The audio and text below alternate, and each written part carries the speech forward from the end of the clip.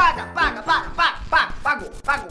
A minha avó falou que esse ano não tem presente de Natal, que Papai Noel foi atropelado na Avenida Brasil e que Papai Noel morreu. É mentira, porque Papai Noel não existe. Ela não vai me dar presente de Natal esse ano porque minha avó é professora aposentada. E ela tá sem receber o pagamento do salário da aposentadoria dela. Ô, governador, não é você que paga o negócio da minha avó? Cadê o dinheiro dela? Cadê? Cara de bunda. Se eu te encontrar, eu vou fazer igual quando eu encontrar o Papai Noel. Eu vou dar um chute bem no teu saco.